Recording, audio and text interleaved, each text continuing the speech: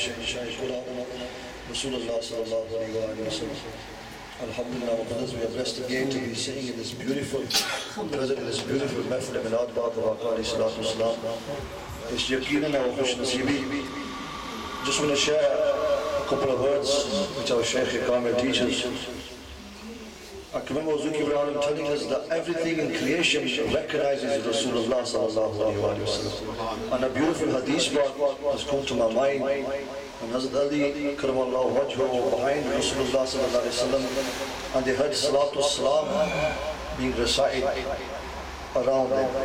Whenever they heard, they could hear Salatu Salam coming.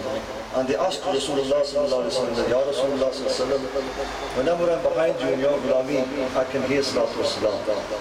Whenever we walk behind you, Ya Rasulullah sallallahu we can hear his dood and salat. Rasulullah sallallahu alayhi wa sallam told us already that these trees and these stones and everything which I just said, as some teachers, everything recognizes Aka wasalam. And it's our khush nasibi that our mashayikh, Azuki Alam, they're giving us that recognition.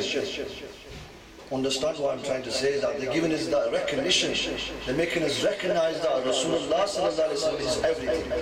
And we are nothing. And another beautiful point I want to share with you is I remember Azuki Ibrahim saying that the world, they think everything shines because of the sun and the moon. Everything, they think everything shines because of the sun and the moon. But everything, Rasulullah sallallahu alayhi wa sallam, everything gets the nur from Rasulullah sallallahu alayhi wa sallam. Hazur's nur. For example, there's a hadith part, the Hazur alayhi salatu wasalam didn't have no shadow.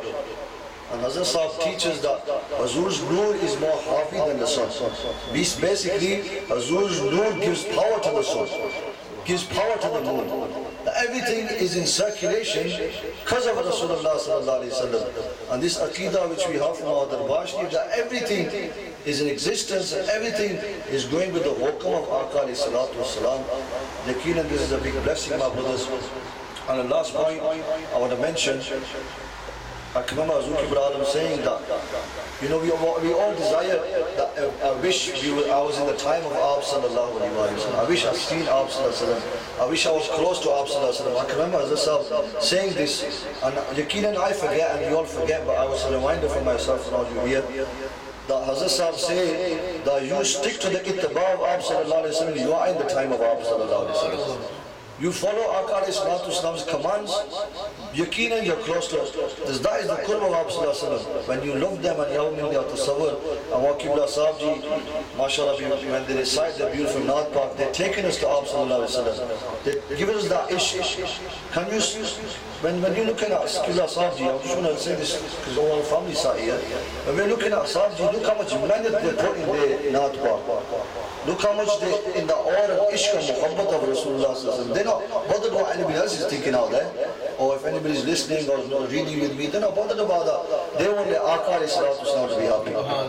That's what they're teaching me. You know, their soul and their muhabbat is overflowing. And that's what Hazrat Sahib want for us. May Allah Ta'ala give us life in his and his Habib Islam to be with